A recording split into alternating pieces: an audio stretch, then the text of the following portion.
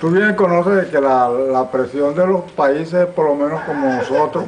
que vivimos en, en la, de la agricultura, muchas veces somos pobres, por el motivo de que no tenemos los, los esfuerzos principales.